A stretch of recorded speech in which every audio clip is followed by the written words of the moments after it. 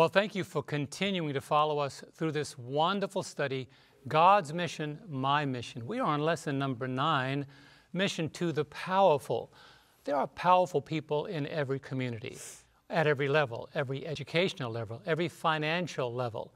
People that somehow are known for their ability to speak and everyone listen. Does God have a plan for their lives? When you study Scripture, you'll find out that God used the powerful. Many wealthy men in the Bible were used by God. Today, we're going to be covering that topic. How do you minister to powerful people? Before we go any further, to my immediate left is Daniel Perrin. Good to have you here, Daniel. Thank you. I've got uh, the powerful man named Naaman on Ooh. Monday. That's a wonderful one. And Shelley, how are you today? I'm doing great. I have witnessing to the learned Nicodemus. Mm, that's a challenge. Those degrees sometimes give you degrees of yes. challenges.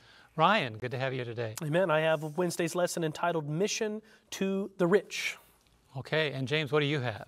I have Thursday's lesson, John, and that is entitled Mission to the Powerful. Ooh, wow. This is going to be a good lesson because you may have people in your sphere of influence that you might think, man, would they even listen if I spoke? They're my supervisor. They run the company, they own the business. Mm. Those are individuals that also need Jesus. Before we go any further, Ryan, would you have our prayer for us today? Absolutely. Let's pray. Our Father in heaven, Lord, we ask once more for your Holy Spirit to lead and guide us in this study lesson, Lord. We dare not move forward in our own thoughts and ideas. We ask humbly that you will uh, pour out your Spirit upon us, that everything that is presented here will be in accordance to your will and your word, and that each and every person uh, uh attending this this uh, meeting, Lord, or, or watching across the world that will be blessed and drawn to you. May we all be educated, informed, and of course brought into harmony with your will found in the Word of God. We ask in Jesus' holy name. Amen. Amen. Amen. You know, I'm glad that this topic was included. I know that we are talking about powerful, powerful, wealthy, educated, uh, influential, mm. and uh, people that we sometimes walk into their building and their name is on the building or we see them fly overhead and that's their helicopter, or they land and their name is on their plane. Mm-hmm. And I was reading not too long ago in the book Christ Object Lessons into the chapter into the highways and hedges. And uh, there was a wonderful illustration that Ellen White talked about. She says, If a wealthy man was drowning, would you allow him to drown because of his wealth? Mm. If a person who was influential was uh, sick, would you not visit them because of their influence or their powerful position? And the answer is no. And so when the Bible says in Romans 3:23, "For all have sinned and fallen short of the glory of God," that includes the powerful, the wealthy, the educated, the influential. Let's go to the memory text for today, and this is a wonderful text to lay the foundation. In Matthew 16:26, most of us know it by heart. For what profit is it to a man if he gains what, friends? Mm-hmm. The whole, the whole world and loses his own soul? Or what will a man give in exchange for his soul? Mm-hmm. I've been to the bedside of many people that were challenged by health. Some of them were about to pass away. I've never heard anyone say, you know, I wish I had more money. I wish I had a bigger house. I wish I had a faster car. I wish I had another degree. When people are at that point of life where it's slipping away, all of a sudden life becomes sharply focused and they begin to think of those things that are really relevant. It's sad to get down to the end of life and realize that all your possessions cannot earn you salvation. And in the focus of this lesson, we're talking about how important it is for people not to be possessed by their possessions mm-hmm. or distracted by their accomplishments or known by their degrees, but recognized by their need. Now, one of the ones that are very significant is a man by the name of Nebuchadnezzar. Who doesn't know who he is? Well, maybe somebody watching today never heard that name. It's a name when I learned it, I couldn't forget how to spell it. Let's go to the book of Daniel. We're going to peek into this man's life. Nebuchadnezzar spoke and people listened. You might remember him if you've studied the story of the Babylonian captivity of the Hebrews there.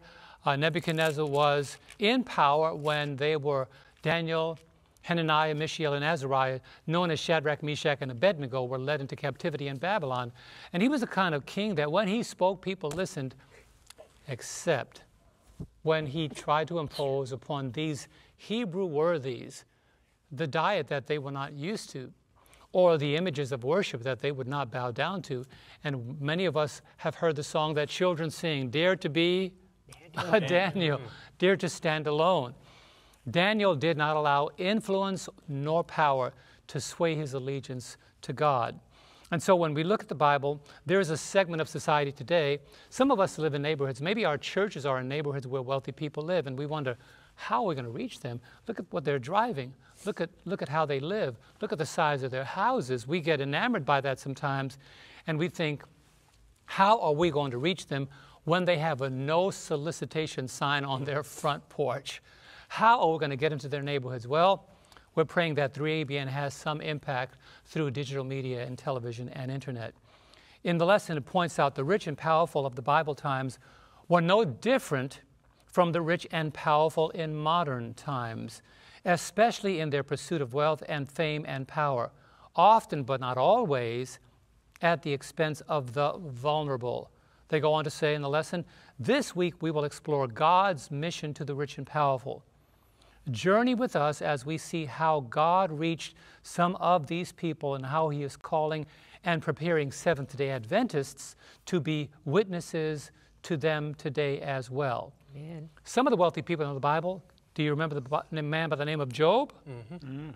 If you look at the possession of his cattle and his houses and his sheep, innumerable, but still, Job faced some of the greatest trials. Another man by the name of Abraham and his nephew name. They had so much they had to separate hmm. so that their herdsmen and their cattle would not get intertwined and cause conflict. Then you have Solomon.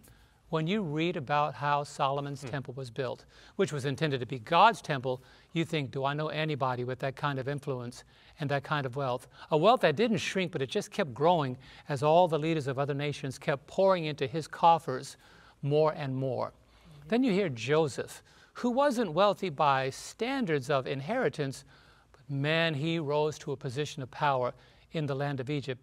And then David, an influential man who had difficulty in his own reign, but still he would be classified among those who are powerful. The evidence of God's desire to save everyone is found in some of the following verses. Let's go to 1 Timothy 2 and verse 4. You know, as Adventists, we believe in something called unlimited atonement, meaning when Jesus died, his blood was shed to save everyone, not just those who are second and third generation Christians or Adventists or Pentecostals or whatever they may be, but everyone born under the impact of the nature of Adam. And believe me, it stems from the wealthiest to the poorest. The evidence of God's desire to save everyone is found in the following verses. Let's look at 1 Timothy 2 and verse 4. Who desires all men to be saved and to come to the knowledge of the truth. How many men? All men. All men. And you know, the Bible talks about how difficult it is sometimes when you think about uh, wealth. One of the stories that come to my mind is a story that's so apropos and significant to this lesson the rich young ruler. And he came to the Lord with his riches and his youth and his vibrance and his determination.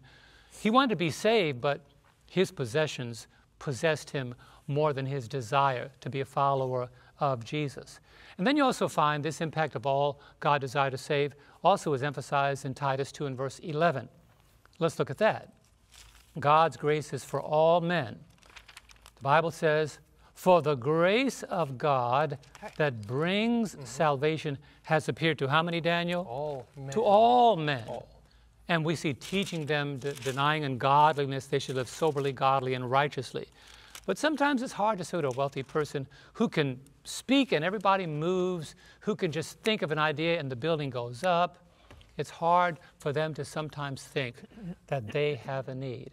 I've had opportunity to hobnob, if that's the word I could use, with billionaires, being in a car with two or three billionaires, and but men who are humbled and involved in God's work. And I've discovered it's not the wealth that's the issue. Sometimes it's the love of money. Let me say, not sometimes, but all the time, it's the love of money that becomes the root of that evil. Mm-hmm. We find also God has no desire for anyone to be lost. Let's look at 2 Peter 3, verse 9, dealing with the importance of the wealthy. The Lord is not slack concerning his promises, as some count slackness, but is long suffering towards us, not willing that, how many? Any. Any should perish, but that all should come to repentance. Mm-hmm. When you study the life of, Nebuchadnezzar, you find, as we go to Daniel chapter 4, Nebuchadnezzar was a man who was so proud of his accomplishments. And he was warned by God. God said, I could humble those who are proud and I could exalt those who are humble. And one day, in Daniel chapter 4, verse 34 to 37, we talk about one day he stood on his porch and he says, Is not this great Babylon that I had built? And the judgment of God was bestowed upon him. That's a light way of saying it, mm-hmm. imposed on him. And for seven years he remained as God ordained, as a beast in the field. His hair was growing, his nails were growing, and the symbol was a band around the tree. But at the end of the seven years, his reason returned to him, and I'm going to read about that. Daniel 4, verse 34 to 37. And at the end of the time, I, Nebuchadnezzar, lifted my eyes to heaven, and my understanding returned to me. And I blessed the Most High, and praised and honored him who lives forever. Here's what he discovered, here's what he learned, and all wealthy and powerful people should not forget this. For his dominion is an everlasting dominion, and his kingdom is from generation to generation. All the inhabitants of the earth are reputed as nothing. He does according to his will in the army of heaven and among the inhabitants of the earth. What a declaration! Amen. No one can restrain his hand or say to him, What have you done? Nebuchadnezzar no- noticed, wait a minute, Babylon is just my small little kingdom in my backyard, but God owns the earth on which Babylon stands. And then verse 36 At the same time, my reason returned to me, and for the glory of my kingdom, my honor and splendor returned to me. You see, God gave him back what he had when he humbled himself. My counselors and nobles resorted to me. I was restored to my kingdom, and excellent majesty was added to me. Now, I love this. I, Nebuchadnezzar, praise and extol and honor the King of heaven, all whose works are truth and his ways justice. And those who walk in pride, he is able to put down. what a testimony. Mm. He knew that personally. And those of you that may have a lot of means where you look at your bank account and you have to do nothing for your bottom line to continue going up, you wake up in the morning and you'll never live to spend the kind of money that flows into your account. Here's what the Bible says about those who need to understand God's desire to save them. You see, we here at 3ABN believe the everlasting gospel is for everyone. And as we continue proclaiming that, we are reaching out to those who are wealthy, those who are powerful. We are all in need of the redemption of the Savior that came to the world. Bottom line, He owns everything, but He does want your heart. Mm. Amen. Amen. Thank you, Pastor Lomacang. Those three letters and that one word there that you highlighted, all, right. perhaps among the most challenging of words to really grasp in the gospel story. I want to take you uh, to Monday's lesson on Naaman. I'm Daniel Perrin with Monday's lesson, and uh, we're going to go to 2 Kings chapter 5 is where we're going to find this story. And as you're turning there in your Bible, I'm going to read to you 1 Timothy 1:15. Just a couple of words here. Christ Jesus came into the world to save sinners. Now Naaman, general of the army of Syria and lead harasser of Israel, he was a sinner. So, what did Christ Jesus come to do for Naaman? Bring him salvation. Let's look at his story in verse 1, chapter 5, 2 Kings, uh, f- full of glowing credentials for him. Now, Naaman, commander of the army of the king of Syria, was a great and honorable man in the eyes of his master, because by him the Lord had given victory to Syria. He was also a mighty man of valor. In other words, Naaman is a part of inner circles. He's never got to find a, a parking space for his chariot. He never has to wonder if he's got enough change in his pocket to make things work. People compete for the, the privilege of serving Commander Naaman. He's got it all. He's rich and powerful. But then, doesn't matter what your status is, it doesn't set you apart from the common calamities of life. These three words at the end of verse verse 1 but a leper. Hmm. This brings his life to a screeching halt and emergency. What is going to become of me? There's no reasoning or purchasing power or, or military might that can get him past this.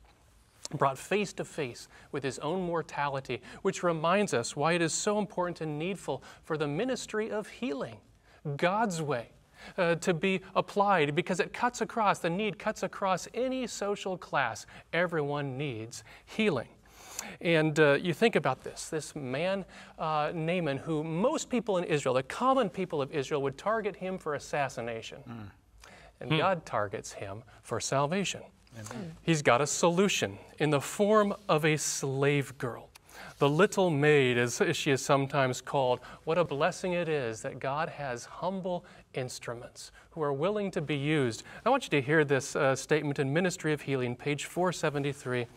If the Lord desires us to bear a message to, a message to Nineveh, it will not be as pleasing to him for us to go to Joppa or to Capernaum. He has reasons for sending us to the place toward which our feet have been directed. At that very place, there may be someone in need of the help we can give. He who sent Philip to the Ethiopian consular, uh, Peter to the Roman centurion, and the little Israelite maiden to the help of Naaman, the Syrian captain, sends men and women and youth today as his representatives to those in need of divine help and guidance. God had something in place already, and this little girl fulfills a purpose that all of Israel was to be fulfilling. Mm-hmm. Turning the eyes of the people to the God of Israel, the God who has power. And she, this is a testament to her early education of her parents that her parents gave her, but she then speaks to Naaman's wife, and she has such a character that this wife listens to her and she speaks to Naaman, and he trusts her. He, he trusts her. Mm. And then Naaman goes to the king of Syria, and all on, on this girl speaking out, all on her testimony, mm. they decide to reach out to their enemy to Israel, a letter to the king, and is sent and said, We want healing through your prophet. The king receives this letter in verse 6 and 7, and he doesn't have nearly as much faith as this little slave girl, mm. and he tears his clothes and says, Oh, he's trying to fight with me. Mm. Oh, what am I going to do now? Well, Elisha hears about it. Naaman is summoned. Naaman comes down to Elisha there in Samaria, where Elisha's home is, and Elisha doesn't even come out and talk to him just sends a message and tells him to go wash in the dirty river Jordan seven times. Seven times, complete submission to the God of Israel. Verse 11, but Naaman became furious and went away and said, Indeed, I said to myself, He will surely come out to me and stand and call on the name of the Lord his God and wave his hand over the place and heal the leprosy. Naaman's got a battle here with pride. He's got his proud spirit. Nonetheless, uh, he humbles his spirit and he submits to what God has asked him to do. And then in verse 15, he comes back, returns to the man of God, he and all his aides, and came and stood before him. And he said, Indeed, now I know there's no God in all the earth except in Israel. And Jesus actually refers to this when even his own people in Luke 4 reject him. Mm. Naaman's response here is, is decisive, it's rational. He turns his life over to the God of Israel as far as he knows, with as much information as he has. He perhaps would not understand everything ever, but he says, based upon what I know, I'm all in with this God. And so he makes a request in verse 17. So Naaman said, Then if not, all right, so if, if you're not accepting my gift, he offers to pay the prophet, please let your servant be given two mule loads of earth, for your servant will no longer offer either burnt offering or sacrifice to other gods, but to the Lord. I'm turning my back on those gods. Still doesn't have a, a right theology about how it all works, but he says, I'm not offering, I'm not serving that God any longer. Mm-hmm. Yet in this thing, may the Lord pardon your servant. When my master goes into the temple of Rimmon to worship there, and he leans on my hand, and I bow bow down in the temple of Rimmon. Then, when I bow down in the temple of Rimmon, may the Lord please pardon your servant in this thing. Now, the actual name of this god is Ramanu, the thunderer. This is uh, an incarnation of, of Baal, the god of, of rains and things like that. And he uses a, a different name. He calls him Rimmon, which means a pomegranate. All right, I'm done with that. There's no power in there. It's just a little fruit, okay? But when I go in to that, to that temple, I'm not worshiping that god, please. In other words, he says, pardon me here. There's some problems with this request in the Christian life as Christians, when we ask, when we make a covenant with God and we ask Him then to overlook sins in our life that we hold on to, we're not really submitting to God. Or if we as Christians know that there's a clear decision between my work or my social life and my Lord, and we say, Lord, I'm, I'm going to choose this instead of you, can I still have your favor? It doesn't work out in the Christian life. And when we as Christians uh, do not abstain from even the appearance of evil, as, as we've been told, then we're putting ourselves in a wrong condition with God. Now, after saying all those things, that makes even more striking Elisha's response to Naaman right here. Verse 19 Elisha said to him, Go in peace. Hmm. So he departed from him a short distance. Look how gently the prophet deals with Naaman, who's just taking first steps in his faith. Naaman has made a commitment, a huge sacrifice to uh, turn his back on the gods of Syria and yet return there to his position and be honestly a missionary to the Syrians. He demonstrates his conviction, he recognizes the moral authority of God, he desires to be in right relationship to him. He's a, a new believer taking first steps, and Elisha does not want him to depart in doubt or uncertainty, and he returns his attention to the peace that God has brought to him through what he's just done for him. The implications for ministry here put ourselves in others' shoes and realizing the big change that turning your life over to Jesus requires of people. It's not a small thing. I was raised a Seventh day Adventist, and I think Seventh day Adventism in my family goes back a number of generations six or seven or eight. There are people for whom there is an enormous change, and changes take place slowly. And therefore, we can't always hold people to the same exact standard of exactly, you have to do everything just like I do it. Instead, number two, we affirm each step that somebody makes as they're turning their life over to God, even a small step. And even it's a step where they're, they're fumbling along and doing it in a way that might appear clumsy to us who have more knowledge of the Bible. And yet we say, Praise the Lord, for we see that you have turned from darkness to light. And there's always for each one of us more turning to be done. And then, number three, there is a right time for each appeal. The SDA Bible commentary on this story says Elisha knew that this was not the suitable moment to insist on a drastic change in this particular matter of behavior. He was a man of keen spiritual insight, and his treatment of Naaman wished to be tactful and prudent. So he sent him away not with a word of rebuke, but with a message of peace, similar to that contained in Jesus' farewell to his disciples. John 14, 27, My peace I leave with you. Mm-hmm. And then, number four, God does not always always ask people to leave their position, even in this world's business. John the Baptist in uh, Luke 3, verses 12 to 14, tax collectors come to him and say, What should we do? And uh, he says, Collect no more than what is appointed mm-hmm. to you. He didn't tell them to quit their tax collecting business. And soldiers, Roman soldiers, asked him, What shall we do? He didn't say, Leave the Roman military. He said, Don't intimidate anyone or accuse falsely, and be content with your wages. Mm. Right? So we don't want to push people farther than God is pushing them. I want to share with you this uh, statement here in Prophets and Kings, page 253. Today in every land there are those who are honest in heart, and upon these the light of heaven is shining. If they continue in faith, in following, continue faithful in following that which they understand to be duty, they will be given increased light until, like Naaman of old, they will be constrained to acknowledge that there is no God in all the earth save the living God, the Creator. There are people all over the world in His condition ready for turning. Amen. Thank you, Daniel. I love that. Mm-hmm. How he was so gracious to Naaman the leper, former leper. Mm-hmm. Well, we have three more lessons to cover. Don't go away. We'll be right back.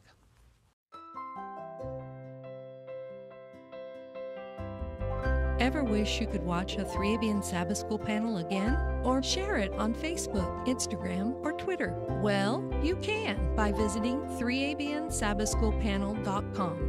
A clean design makes it easy to find the program you're looking for. There are also links to the Adult Bible Study Guide so you can follow along. Sharing is easy. Just click share and choose your favorite social media. Share a link, save a life for eternity. Welcome back to our Sabbath School lesson as we continue in Mission to the Powerful. Shelley, it's on Oh, yes, I'm excited. Mine is Tuesday's lesson Witnessing to the Learned. It's a story of Nicodemus. Mm. Nicodemus was a ruler of the Jews, he was a member of the Sanhedrin, and the Sanhedrin was like the Supreme Court of Israel. He was a rabbi, a teacher of Israel, and his vaunted knowledge of Scripture was really kind of a twisted, misconstrued idea. Now, he kept all of the commandments of God, but he still had a great spiritual need for a Savior. So Nicodemus comes to Jesus one night, and here is the story in John chapter 3 is where we are. John chapter 3, we're going to go through verses 1 through 12. There was a man of the Pharisees named Nicodemus, a ruler of the Jews. This man came to Jesus by night and said to him, Rabbi, we know that you are a teacher come from God. Now, that's a big statement from a Pharisee. Most of them trying to trip Jesus up, they're, they're not appreciating. But Nicodemus was impressed by Jesus' teachings and his miracles, his heart. There's some kind of conviction going on here. He says, We know that you are a teacher come from God, for no one can do these signs that you do unless God is with them. So we see this heart that is beginning to uh, bubble up with hope and conviction. Jesus, in verse 3, answered and said to him, Most assuredly, I say to you, unless one is born again, he cannot see the kingdom of God. What does he mean? God's kingdom, God's word, are spiritual words. They are spiritually discerned. So the convicting power of the Holy Spirit can come upon us and show us that we need to turn. But no one can see the kingdom of God unless the Holy Spirit is indwelling them. So Nicodemus says in verse 4 How can a man be born again when he's old?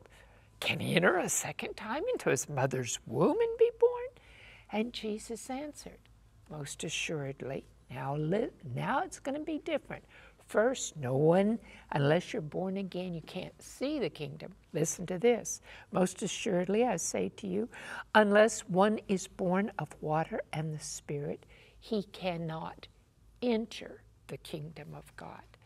You've got to be able to see before you enter. That which is born of the flesh, Jesus said, is flesh, and that which is born of the Spirit is spirit. Do not marvel that I say to you, you must be born again. The wind blows where it wishes, and you hear the sound of it, but you cannot tell it that it where it comes from and where it goes. So is everyone who is born of the Spirit. Let me hit a pause button here. When Jesus is referencing the wind, he's giving the MO, the modus operandi, uh, randi of the Spirit. The Spirit's everywhere. And you don't see him, but you will feel him. This does not mean that the Spirit is just some energizing power. And I want to be clear on that because Jesus said of himself, I am the door. That doesn't mean he was the door. Um, verse 9 Nicodemus answered him and he said, How can these things be? And Jesus answered and said to him, Are you the teacher of Israel? And do you not know these things?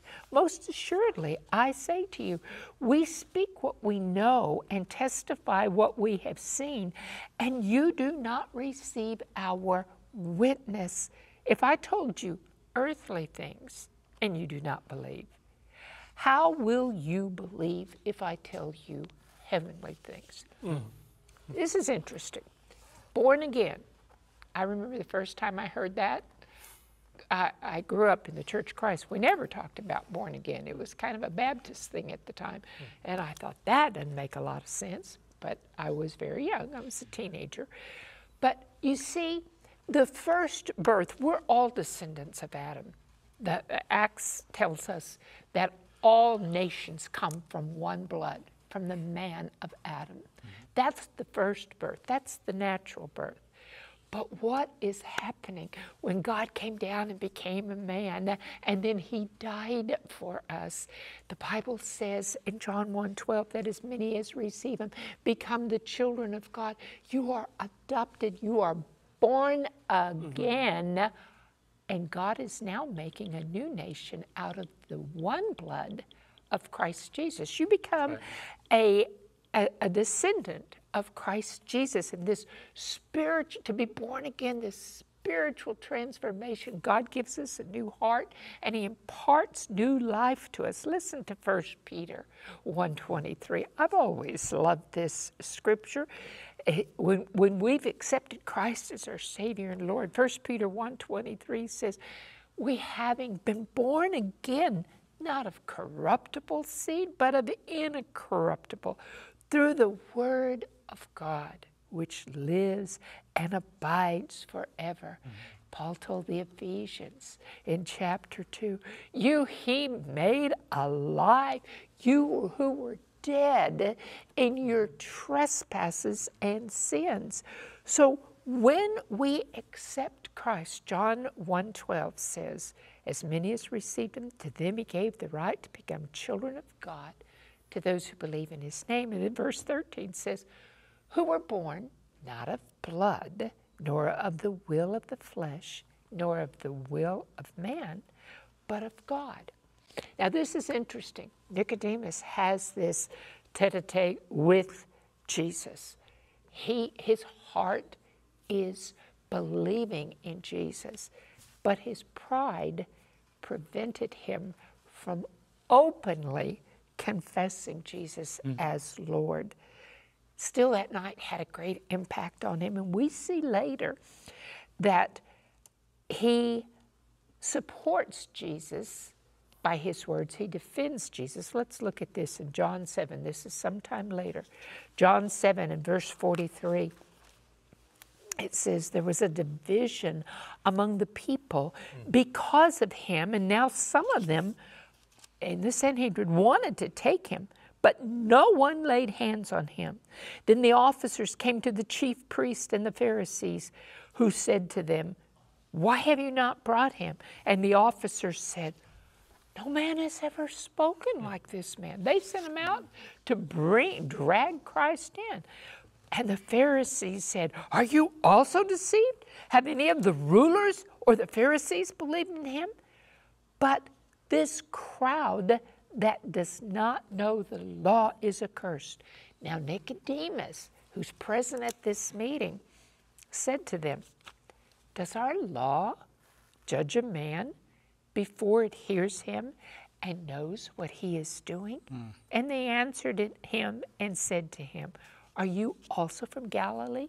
Search and look, for no prophet has arisen out of Galilee. So Nicodemus is supporting him, mm-hmm, mm. but not openly confessing, hey, I'm a follower of Jesus Christ. But Nicodemus did honor Jesus at his death. Let's look at John 19. John 19, 38. After this, Joseph of Arimathea, being a disciple of Jesus, but secretly for fear of the Jews, asked Pilate that he might take away the body of Jesus. And Pilate gave him permission. So he came and he took the body of Jesus. And Nicodemus, who at first came to Jesus by night, also came, bringing a mixture of myrrh and aloes, about a hundred pounds. Pretty expensive. Uh-huh. Then they took the body of Jesus, they bound it in strips of linen with the spices, as the custom was for the Jews to bury. So the bottom line is God knows the heart of the learned. The knowledge of the truth is not enough to save us. We must be born again. We must enter into that relationship, enter into covenant with Jesus and into the relationship as a covenant child of God, and then walk in loving loyalty and obedience. Amen. Amen. Thank you so much, Shelley, Daniel, Pastor John. Appreciate you guys so much. I'm Ryan Day. I have Wednesday's lesson entitled Mission to the Rich. And, you know, it's the common idea from some people, especially those who are not rich. Uh, it's the common idea that, you know, you know, that rich people in general are I guess, bad or not interested in spiritual things, or we tend to keep away or I guess almost shun the idea of witnessing or ministering to the rich. But uh, that's not the case. And we're going to learn through this today, through this lesson, that yes, riches can be a hindrance to salvation depending on the person who has the riches, if they allow that to be so. But we are still to share the gospel. We are still to be mission minded towards those who are powerful and wealthy and have much riches. We're going to start in Matthew chapter 19, begin in verse 16 and onward. This is the story of the rich young ruler, and uh, this is an interesting story indeed kind of a sad one uh, because obviously we know Jesus' heart was to save this rich young ruler, a young man who obviously was interested in spiritual things, but yet his riches had more of a powerful grip on him than did his desire to actually be saved ultimately when Jesus had given it to him. And so in this case, we're going to start in verse 16, Matthew chapter 19. Notice what the Bible says. It says, Now behold, one came and said to him, Good teacher, what good things shall I do that I may enter or have eternal life? So he said to him, Why do you call me good? No one is good but one, that is God. But if you want to enter into life, keep the commandments. Uh, and he said to him, Which ones? And I just have to pause there because, you know, we, we live in a culture today where so many people have that mentality of, you know, it's certain commandments we have to keep and certain commandments we don't have to keep. At the end of the day, my friends, we keep the whole law. That is the Ten Commandment law of God. There's not one that we are to leave out. But in this case, the mentality of this rich man was, well, maybe there's some I don't have to keep. Maybe there's others that's a little bit more important. Which ones, Master? Tell me which ones. And then Jesus actually, he knew this rich man's heart, right? Jesus could see into the very soul of this person and knew exactly exactly his intentions. And, you know, I've had some ministers even say, and especially when it comes to uh, the, the concept of Sabbath keeping, they'll say, well, you know, notice what he said here. He said the commandments, but he quoted the last six. He didn't quote the first four. Well, in this case, I would submit to you, Jesus didn't quote the first four because this man was no doubt a devout Orthodox Jew. He would have definitely, within the culture of Israel that had been at that time very much established in bringing glory to God and keeping the Sabbath and making no other gods before him and not taking the Lord's name in vain and not worshiping idols or images, but it was those last six that he would have had issue with, and that was his relationship with his neighbors. So Jesus went directly to the commandments that was associated with his relationship and his idea and association with those around him. And so he starts quoting the, the, the commandments uh, in the latter part of the commandments, that is the last six dealing with relationship. Jesus said, You shall not murder, you shall not commit adultery, you shall not steal, you shall not bear false witness, honor your father and your mother. And he said, You shall love your neighbor as yourself. Now, it's interesting that last statement sums up those last six commandments because they're all about our relationship with others. And he knew that man's heart. He knew that there was something about him that he did not love his neighbor enough to be able to share what God had blessed him with. And so, notice what the young man's response. He's, he's, he's completely uh, uh oblivious to his own condition. The young man says to him in verse 20, All these things I've kept from my youth. What do I still lack? And so, Jesus gets right to the heart of the issue to reveal to him his own condition. Verse 21, Jesus says to him, If you want to be perfect, go sell what you have and give to the poor. Do you love your poor brethren out there? Those that are struggling? Those that don't have much? Those that are in need? What are you doing for them? He says, And you will have treasure in heaven and come follow me. Not only did Jesus tell him what he should do, but he, he extended the invitation go sell what you have, give it to the poor, and come follow me, and you'll have treasures in heaven. Verse 22 But the young man heard that saying. He went away sorrowful, for he had great possessions. So, Jesus' interaction, the lesson brings out with the rich young ruler, just shows how dangerous a trap wealth can be. And, and, and uh, you know, Jesus would go on to say a little in a few verses later in verse 24, he says, And again I say to you, after the, the, the disciples begin to question him, he says, Again I say to you, it is easier for a camel to go through the eye of a needle than for a rich man to enter the kingdom of God. Now, I want to make clarification here. Did, did Jesus say it's impossible? For a rich man to make it into the kingdom of God. No, because we have examples in the Bible of rich men, wealthy individuals who indeed uh, we will see in heaven. But this brings out the fact that while it doesn't necessarily mean that, that rich people cannot be saved, it simply means that if they are not careful, that their riches can be, as the lesson says, uh, to salvation. It can become a hindrance if they allow their greed and their desire. What does the Bible say? Not that money is the root of all evil, but their desire for wealth, their desire for the money, their love for it is the root of all evil.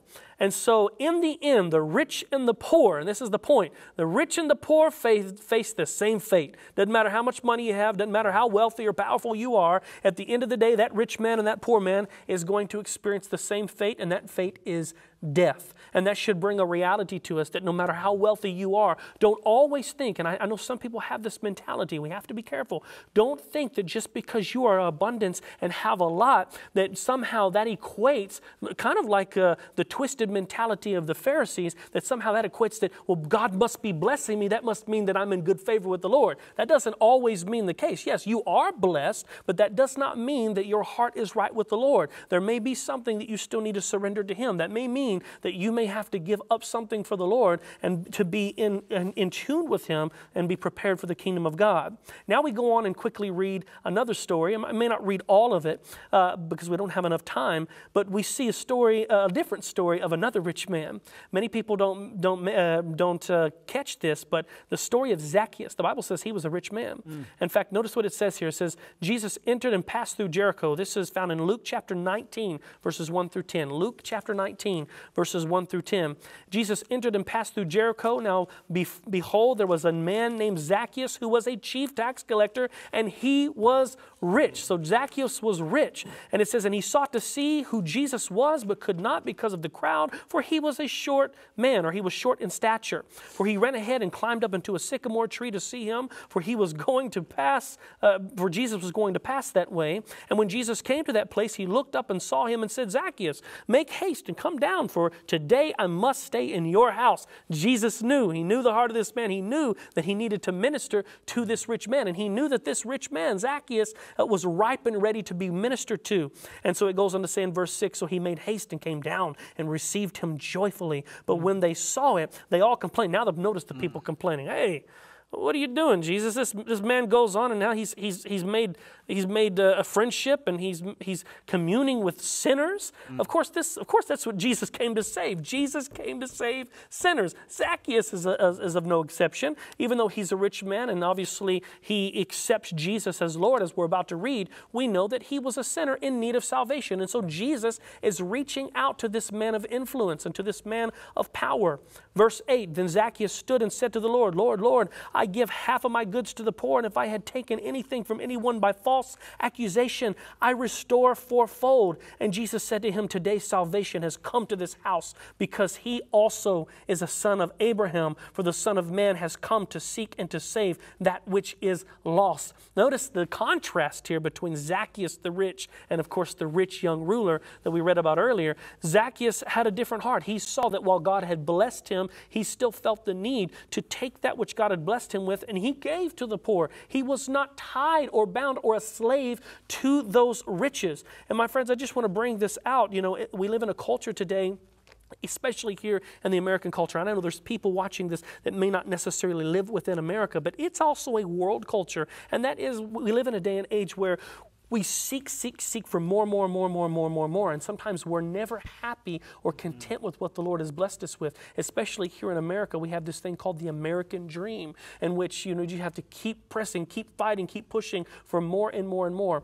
And I'm not saying, and I'm not preaching here that, that riches are necessarily a bad thing, or that you should not save, or that you should not try to seek financial stability for your family and have a savings and, and, and, and, and do that which is good on a financial level. But we have to be careful. The lesson is teaching us uh, that you know we have to be careful and not let the riches of this world or the, the abundance of which the Lord has allowed us to be blessed with to hinder us from having a relationship with Him. And on, on the flip side, we should not take upon ourselves the idea that just because someone is rich and wealthy, that well, they're never going to listen, they're never going to hear the gospel. You never know when a person's heart is ripe and ready to hear the good news because Amen. you, God may be sending you to witness to a Zacchaeus. And so make sure that your heart is right with the Lord. But at the end of the day, we go back to our one of our key verses, Matthew 16, verse 26. For what profit is it to a man if he gains the whole world and loses his own soul? Or what will a man give in exchange for his soul?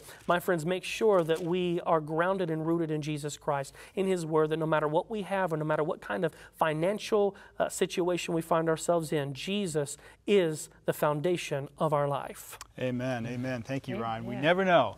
We never know when God is seeking to use us to reach the rich and the powerful. My name is James Rafferty, and I have Thursday's lesson, which is Mission to the Powerful. And the quarterly tells us that Jesus knew how to make friends with pow- the powerful.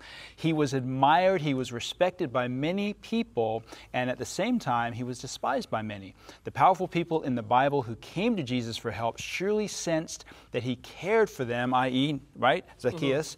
Also, many of the rich and powerful did not openly come to Jesus right away, Nicodemus, right?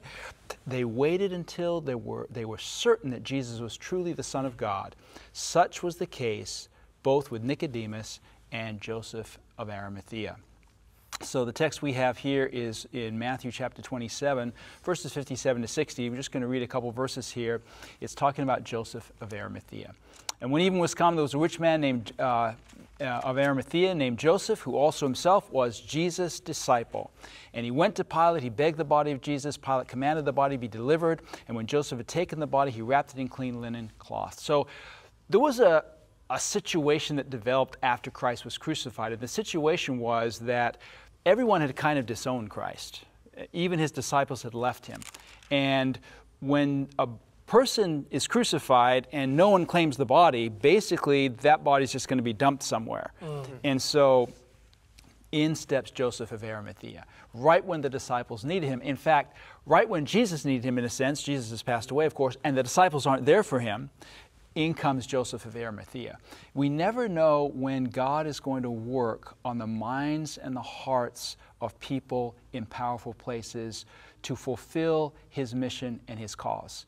And so we need to keep our minds open. That's what I've been hearing here on the panel as we've been going through this lesson. We need to keep our minds open to the way God is going to work.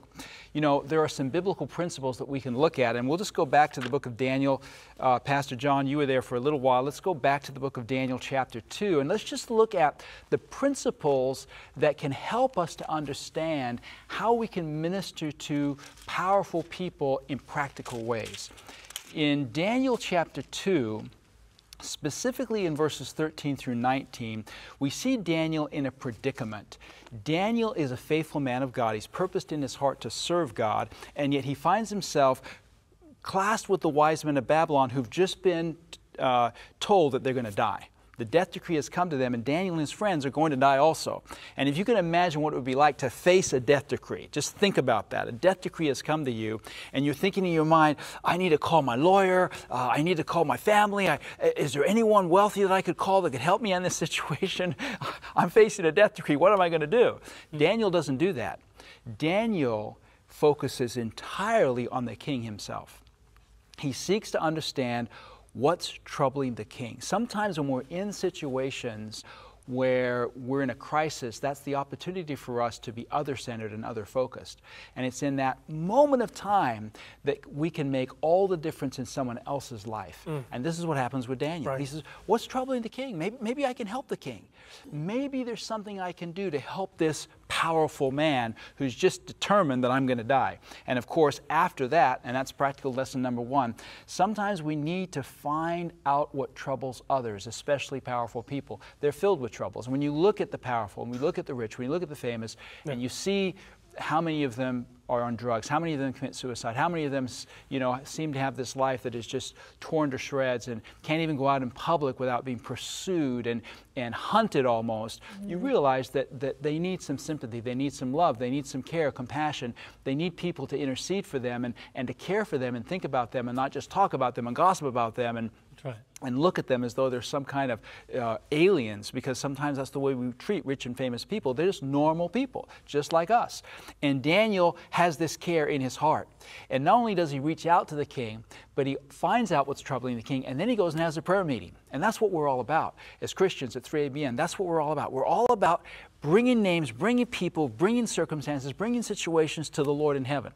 So let's have a prayer meeting for these people. I just heard about this one guy, I just heard about this other guy. We need to pray for him. We need to pray for them. We need to intercede. In fact, the Bible tells us we need to pray for all men, for kings, for prime ministers, for presidents. 1 Timothy chapter 2 verse 1, for those who are in authority. We need to be praying. You know, the other thing we need to recognize is that Daniel, when he's brought in before the king, as the dream is answered, as his circumstances is brought to a place where Daniel can help him, mm-hmm.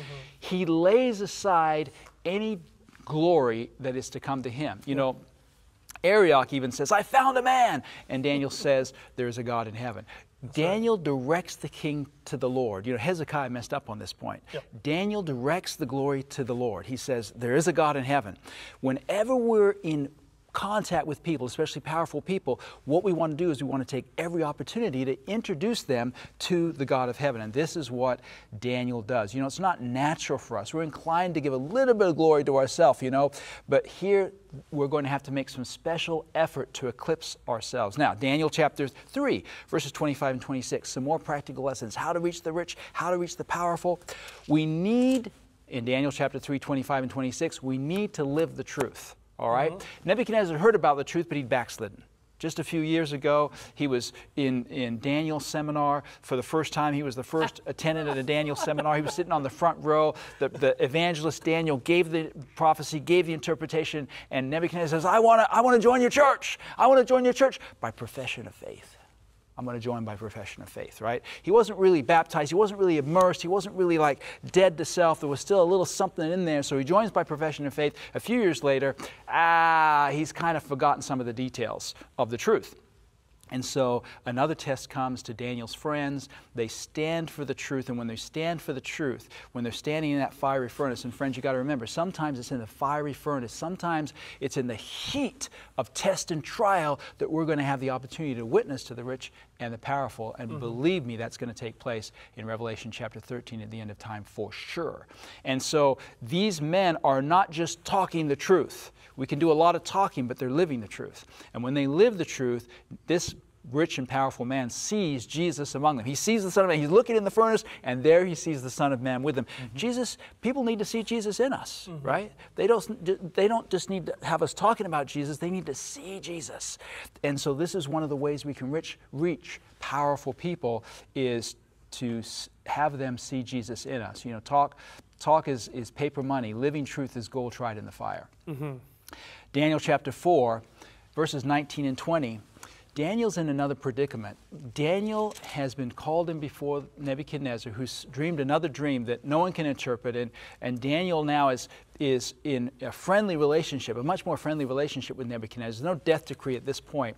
And Daniel is brought in, and Daniel is given an understanding of what the king dreamed, and he has to interpret it. And Daniel struggles, verses 19 and 20, because he realizes this dream is not so positive. And sometimes we have to be faithful to give people information, truth, and understanding that isn't necessarily going to be the most positive and may mm-hmm. not be well received. Right. And Daniel is, is, is talking to the king and he's saying, you know, this, this isn't for your, this is for your enemies.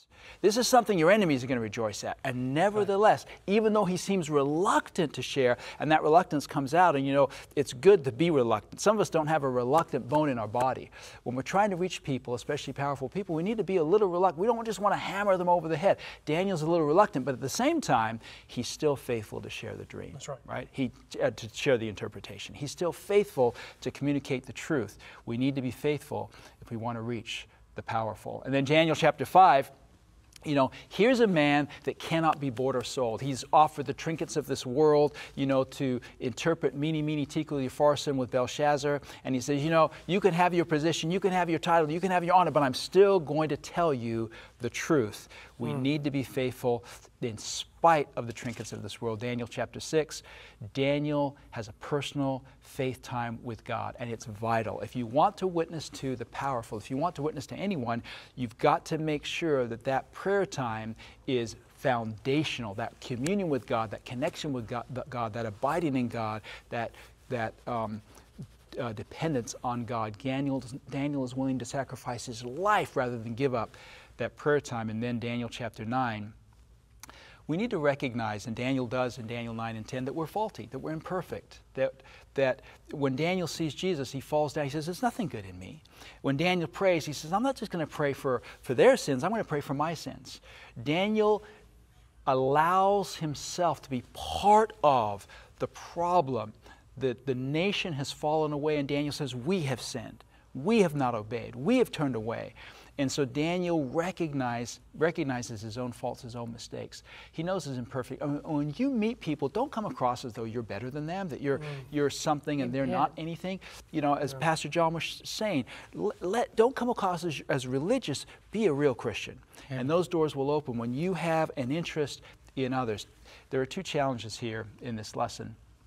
I'm going to save them for uh, the recap because I'm out of time. Okay. Thank you, James, Ryan, Shelley. Daniel, summarize your day. One final thought here. When there is no meaningful outreach going on in Naaman's gated community, God sees a man of faith and he allows him to feel his need and he introduces him to the gospel through the minimum wage day laborer working in his house. Amen. Jesus said you must be born again to see and enter the kingdom of God. Are you? How do you know? Romans 8:14 tells us that if we are led by the Holy Spirit, we are the children of God. Mm, amen. Mm-hmm. Jesus said, "No one is good but one, and that is God." Uh, that reminds me of my constant need of Him. Uh, some people are led to believe that, you know what, I'm a good person, but at the end of the day, we're all sinners in need of Jesus Christ. So give your heart to Him today if you have not done so. Amen. Challenge, uh, add someone to your daily prayer list who's in a position of power.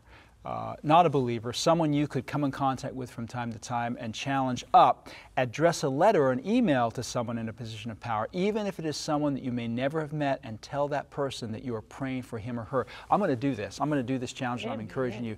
Do the challenge. Pray for those who are in positions of power and influence. That's right. And remember, the most important thing mission to the powerful is possible by mission through the all powerful. Mm, His name right. is Jesus. Lesson number 10 is entitled Mission to the Unreached, Part 1. But don't forget this For we brought nothing into the world, and it is certain we carry nothing out. Mm-hmm. May God bless you. That's 1 Timothy 6 7. Until we see you next time, have a powerful day in Christ.